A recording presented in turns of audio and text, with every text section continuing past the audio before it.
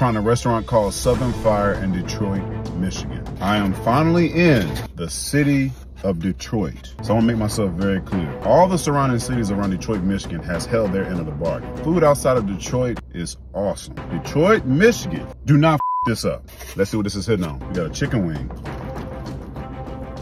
All right. Ooh. That chicken is on point. So it just opened about 30 minutes ago, so I expect this to be good. And it is. Chicken is hot, fried, wet, crispy. The batter has definitely been seasoned. Ooh, this motherfucker is hot. I don't have no problem with the chicken. The chicken is pretty good. You got the fried fish.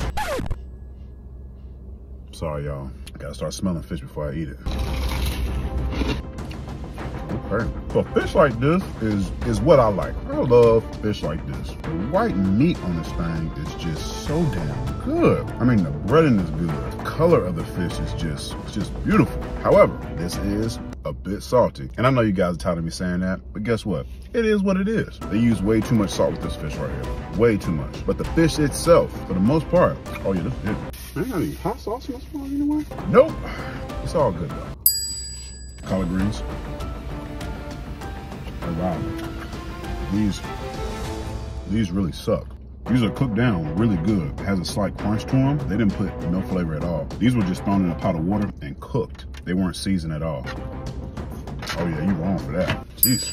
Mac and cheese. Uh-oh.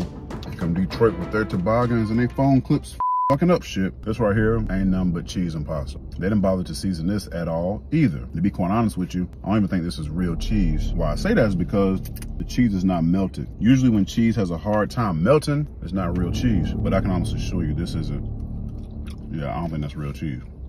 I stand to be corrected. Next, we're gonna try this meatloaf plate.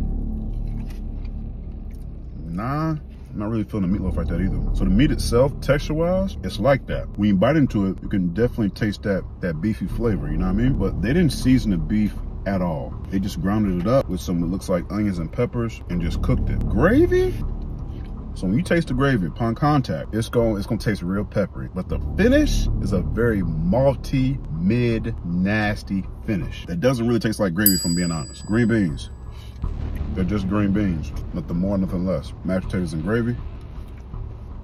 Mm. So the gravy is mid. We really ain't got to discuss that. I personally, the mashed potatoes are actually pretty good. I wish I would have got that without the gravy because the gravy is just coming through everything up. But the mashed potatoes itself, aside from the gravy, the mashed potatoes are okay. Cornbread, it's cornbread or a pound cake. So texture wise, it's on point. Flavor wise, not really. It's a little sweet, but it is, it's definitely dry. I do have another piece of cornbread I want to try too, just because.